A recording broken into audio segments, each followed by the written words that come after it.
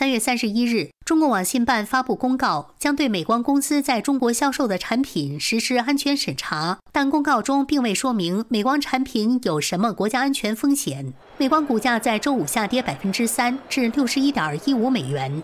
美光在给路透社的声明中表示，正在与网信办沟通，并坚持其产品的安全性和对客户的承诺。美光是一系列科技公司的重要供应商，在中国市场的销售额约占百分之十一。根据彭博社三月三十一日的报道，北京对美光的审查可能影响美光的营收，一些美国半导体制造商也可能面临更大的未知风险，同时加大全球供应链的困境。《